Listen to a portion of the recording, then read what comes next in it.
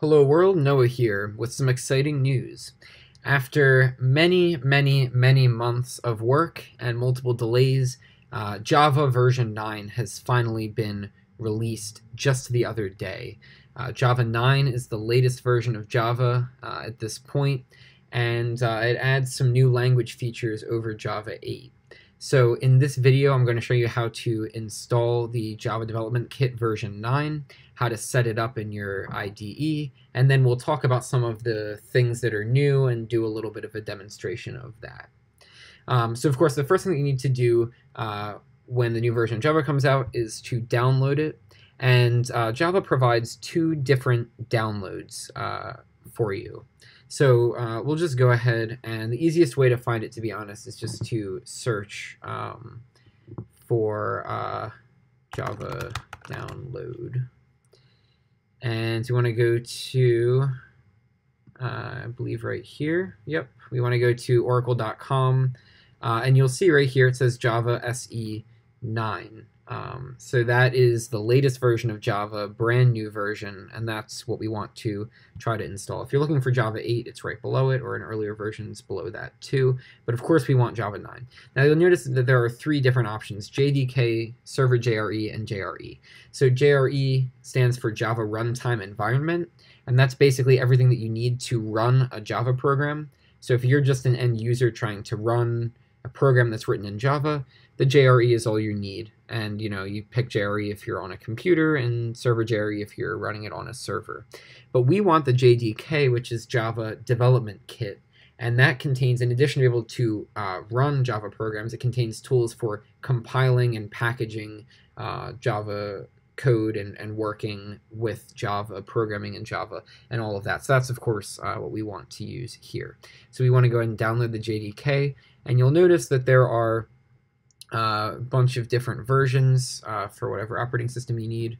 So I'm going to grab the Mac OS version for my Mac. Uh, but if you are on Windows or Linux, then uh, then you can grab your version.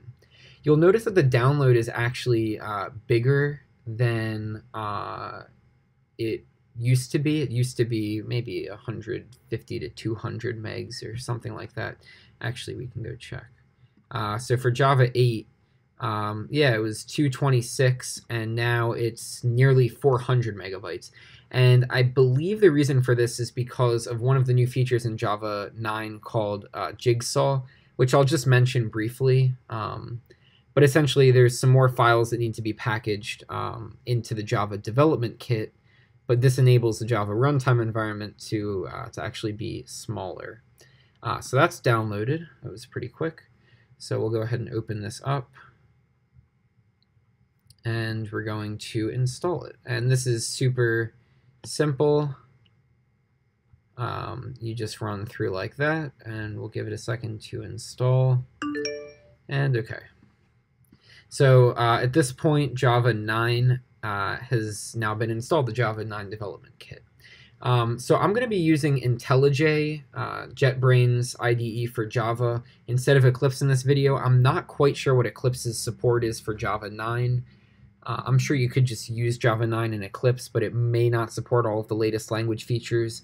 Um, but I know that IntelliJ has supported Java 9 for a while when it was uh, back in development. Um, so that's what I'm going to go with today. And in case you aren't aware, um, JetBrains makes all of these great IDEs, and you can get all of them for free just for being a student. Um, so that's something that's super nice. Uh, before we go ahead and create a new project, I'm going to go to Configure uh, and then Preferences. And then I'm going to go to Build, Execution, and Deployment. I believe now. Where is it? No, it's actually in the project itself. Never mind. So I'm going to go ahead and create the new project. And actually there, it, it already uh, found it. So it says Java version 9. Um, it should detect it automatically. Um, but if for whatever reason it doesn't, um, you just have to point it uh, to where it's supposed to go. So for, for the Mac, it's library Java, Java Virtual Machine, Java 9. You can see I have Java 8 installed as well, but Java 9, contents, home, so right there. And you can see it says Java 9, um, which is exactly what we want. And I just want to do an empty project, nothing special in there. Um, and I'm going to call this uh, Java 9 just so we can test it. Okay, um, so let's open up the project. And the first thing that we'll go ahead and do is a super quick um, hello world program just to confirm that Java is installed um, correctly. And then we can actually look at some of the new features. Um, I'm also going to let it index because I did just install a new version of Java, so it needs to go through that a little bit and just uh, recognize everything. Okay, so we're gonna just system.out.println hello world, and then we're gonna right click and hit run. And okay, it says hello world, and you can clearly see it's running JDK 9, um, so we can tell that it's actually working correctly. All right, so let's take a look at some of the uh, things that are new. Uh, now, this isn't like Java 8 where there were those major, major changes like lambdas and streams and all of that. This is uh, a lot more behind the scenes stuff, uh, but there are a couple of, of changes that, that you would notice and that hopefully you would enjoy. Um, so the first thing that we'll talk about is uh, the improvements to the processes API. Uh, so basically, Java has allowed uh, for spawning external processes for a long time. Um, so like if you need to use a system level process, um, you can run it through Java, and it would essentially be the equivalent of like opening terminal or command prompt and running the command. Uh, but now in Java 9, you have a lot more control over uh, the process itself. Um, so essentially, basically, you just want to spawn a process first, and the easiest way to do that is to do runtime.getRuntime.exec. And you'll notice there's a couple of different options. You can also use uh, Process Builder um, if you want, uh, but we'll just do this. And so, for example, we could execute the command, um, you know, like uh, like ls or, or, whatever command we want to use. Um, and we will need to surround this in, in a try and catch uh, just because it has a chance of throwing an exception. Uh, but anyways, so we call exec and it gives us um, an instance of process. And this is uh, the same thing that it's always done. It's always given an instance of process. But if you do p dot, you'll notice um, that there's a lot more uh, methods here. There's a lot more information. Um, so we basically before we kind of had you know the error stream, the input stream, the output stream, a couple uh, a couple of other things, um, but there wasn't much uh, that we had access to. But now we have access to a lot more. Um, so some of the important things are like so children um, will tell you you know what processes were spawned uh, from the uh, what processes did your process spawn. So like if I if this process spawned a bunch of children to do some different actions, then I could get access to that if I wanted to. Um, destroy and destroy forcibly goes without saying, uh, pretty much. Uh, this info method will give a uh, an instance of, of info, and info is just um, a an interface that contains it can tell you what arguments, what command, um, you know when it started, what user it is, stuff like that. So you can get information about the process that's currently running. Um, you can also get the PID uh, of the process, so that can certainly uh, be useful sometimes. And the last interesting thing is this new on exit method. And this on exit method can be used um, to help you tell um, when the process uh, exits, when it finishes. Um, and so what you could do, you could use something like, so on exit gives you a, com uh, a completable future, and it is really confusing because there's a ton of methods in there. Um, but basically, we just want to use uh, then apply, and we'll give it a function. So for example, we could say process um, exit value. So I'm just doing a method reference to that. And basically what happens is when the process exits, then it will apply this method, which will basically just tell me the exit value. So I could write this as uh, future uh, integer, I believe. Exit value is an int, yeah. So future integer exit value equals uh, p dot on exit dot then apply whatever. So I don't actually know when it's going to uh, exit, but when it does, I'm going to get the exit value of the process, and it'll go into this um, this future. Um, and you know I can check to see if it's done, and I can do get to to get myself um, the integer. Uh, so that's basically just a little look at, at processes. It's not something that's terribly common um, that you'd use a lot, but when you do need to use it, you now have a lot more control over the processes that you're running. Uh, and I know I've had to use it once or twice for certain things, and this is definitely a welcome addition. Uh, the next couple things are kind of small changes. Uh, first, I think it's worth mentioning the implementation of the string class has changed slightly. So now um, the data of the string is actually stored in a byte array instead of a character array. And this basically allows strings to be a little more memory efficient um, because before it was storing it in a character, which I believe was 16 bytes, and now it's, uh, sorry, 16 bits, so I guess two bytes. Um, and now it's just one byte.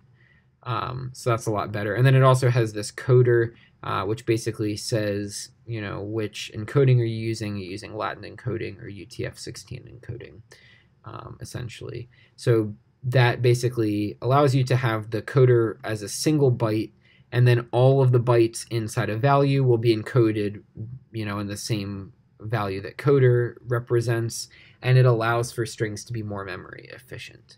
So that's certainly uh, certainly a welcome ch change.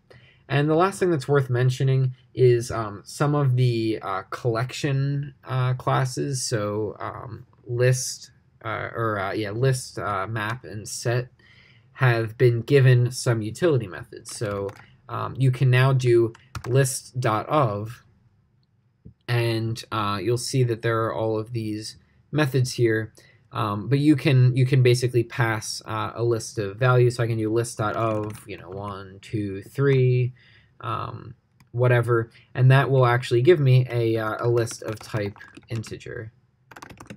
So something like that. Um, yeah, so uh, it's pretty pretty uh, pretty simple, and you'll notice that it is immutable. Um, so it's not a list that you could like modify but you can actually say new array list oops, and then and then put that as a as a parameter like that.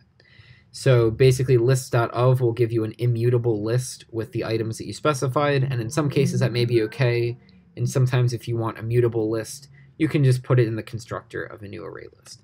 This also exists for set, so you can use set.of, um, and then you can pass a bunch of elements. A set is like a list, but it's unordered, and there's no duplicates allowed in a set. Um, but there's that, and then also for map. So you can do map.of, and you essentially pass the first key and the first value, and then the second key and the second value, third key, third value, so on and so forth. So you just pass key value pairs like that. Um, you can also do of entries if you have like a list of entries. Um, you can use that. And once again, this is an immutable map, so you can just put it inside of a hash map constructor to make it be mutable. Um, so so uh, that's definitely a welcome addition because before um, this did exist, you could do like arrays.as list and you could essentially get the same thing. But especially for for maps, you kind of had to like add all of the keys and values manually. There wasn't an easy way to deal with it. So this is certainly uh, a welcome addition. And of course, these are sort of made for shorter um, lists. If you're going to be putting hundreds or more uh, items in a list or a set or a map, you should probably be reading from a file or using some sort of a loop or something like that. But uh, but for a short list like you know one, two, three, or or whatever, that definitely works very well. And the last thing that uh, that I'm going to show you um, is probably I think the most interesting feature of Java 9. Um, maybe second most interesting to Project Jigsaw, but I think it's the most interesting. And um, it's this new feature called JShell, and this is Java's REPL. REPL stands for Read Eval Print Loop. Um, and a lot of other languages have this. So basically, uh, you know, you might have uh, had experience doing this in Python. So I open up Python and I get this uh, shell here and I can type in like x equals 1 and then I can type x and it'll tell me it's 1. Uh, you know, I could print out x again, it'll tell me it's 1. I could do y equals 2x or 2 times x and print y and it's 2. So basically what's happening here is I'm entering some sort of text. So like I'm saying z equals 1. Then it's going to evaluate that text. Then it's going to print uh, whatever it's supposed to print. In this case, nothing, but if I said z, it's going to tell me what z is. And then it loops and it starts over again. So that's what an REPL is. It just reads one single line from the user, it evaluates that line, prints the result if there is something to print, and then it waits for the next one. And Java now has this feature, which is great because a lot of languages have had it for a while. And we can start it up by doing jshell, um, and now we're, we're here. So, um, so we can try it out. So for example, uh, we can do int x equals 10, and you can see it tells me that, uh, that the variable x has the value of 10, and if I want to look at x, it's going to tell me um, that x has the value of 10. And if I want to print x, it's going to just print out the number 10. But you can see this is a different way of, uh, of interacting with Java because instead of writing a whole program and then running it, it actually runs line by line.